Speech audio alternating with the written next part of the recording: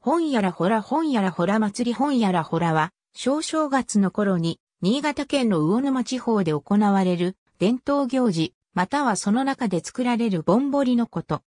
古くは雪で鎌倉を作り、水神様を祀って鳥追いの歌を歌うなど、秋田県の鎌倉と同様の豊作祈願の伝統行事だった。鳥追いの歌の中にも、本やらという掛け声があり、これが語源とされる。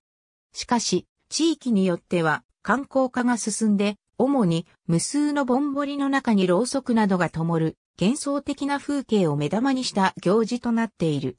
一方、鳥追いの行事を行う新潟県魚沼市では、ぼんぼりのことを本やらほらではなく、鳥追い道という。雪が足りない年は、雪ではなく、テントで代用することもある。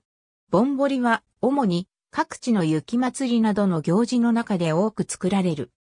ぼんぼりの中から漏れる光が織りなす風景をメインとする行事としては、五千もの本やらほらが作られることもあるというおじやしの三や壺の本やら、ほら祭り、南魚沼市の6日、超温泉本やら、ほら祭りが有名である。柘義春が1968年6月にガロに発表した短編漫画作品、本やらほらの弁さんは、冬のおじやを舞台にしている。この漫画をもとに、本やらほらと名付けられた喫茶店もある。ありがとうございます。